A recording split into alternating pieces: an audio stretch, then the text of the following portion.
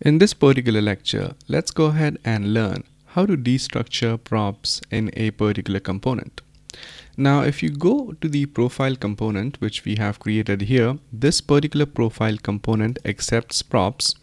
And the way in which we have actually displayed those props up over here is that we have broken down those props into props.name and props.lastname. And whenever you have to use the profile component, so for example, let's say we have to use that profile component here. What we simply do is that let's get rid of the counter component first. Let's say profile here. And whenever we use this specific component, what we do is that we pass in the name and the last name attributes here. So let's pass in name here as Henry and let's pass in the last name as Ford. So if we pass that thing in and if we go back to our web browser, as you can see, you will get the name as Henry Ford. And this is because we have used props.name and props.lastname here. So there's one more way of doing this. So let's say you don't have to display or you don't want to write props.name or props.lastname here. Instead, let's say you just want to pass in a name and last name here. So how exactly is that thing possible? So if you do that for now, and if we go back here you will actually get an error because right now name and last name are not defined. So what you could do is that when you pass in props to the component and when you receive the props here inside that particular component you could first destructure those particular props and save those destructured props into these variable names like name and last name. So the question is how exactly would you do that? So in order to do that, you go right inside this particular component and for now let's get rid of the console log because we don't want to log anything to the console.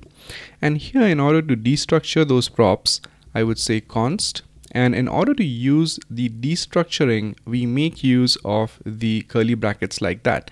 So this concept of destructuring a particular object is not react specific. Instead it's ES6 specific.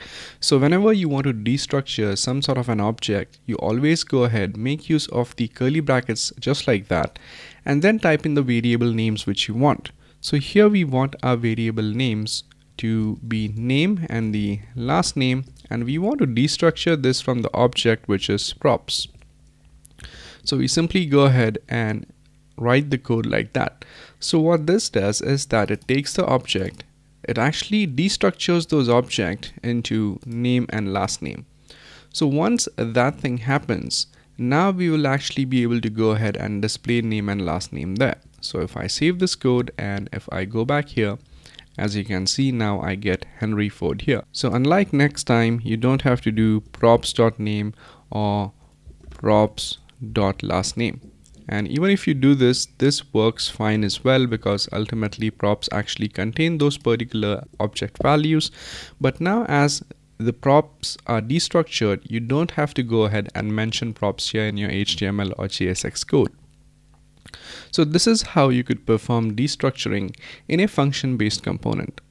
Now in a similar fashion you could also perform destructuring in a class based component as well so now let's learn how to perform destructuring in a class-based component. So I'll go ahead and I'll simply create a component which is going to be a class-based component. Let's call this component as resume.js and now I'll simply go ahead and first of all import component from React and after importing that I'll create a class called as resume and I'll make this thing extend component and once that thing is done we'll have the render method. And in this particular render method I will simply make this thing return some simple heading tag like this is a class component. Save this. And now what I would do is that I would make this thing accept a prop. So in order to make this thing accept a prop you actually have to create a constructor and do all of those things but right now we are going to skip that part and we are automatically going to get a prop. So let's first go ahead go inside app.js let's import that particular component. So I would say import resume from that's going to be dot slash components slash resume. And now let's get rid of this profile component from here and instead say resume and let's say we want to pass in a simple attribute like name here and I'm going to pass in my name here. So if we do that and if we go to the component in order to extract the prop I simply have to go inside the render and I need to say const destructure the name attribute and say this dot props. So if I do that now I'm actually able to access the name here and I simply need to say name here in order to get access to the name and display that name up over here. And one more thing which you need to do is that as you have created this component you also have to export it. So I have to say export default. That's going to be resume so once that thing is done uh, let's check our output here. And as you can see it says this is a class component and it will display up my name here and this is only possible because we have passed in props to the class based component and we have destructured that particular prop here. So the only difference between the functional component and the class based component is that you actually have to go ahead and use this dot props instead of using just props over here so that's it for this lecture and this is how you could destructure props in a function as well as a class component. So in the next lecture onwards we will go ahead and learn about event handling in React. So thank you very much for watching and I'll see you guys in the next one. Thank you.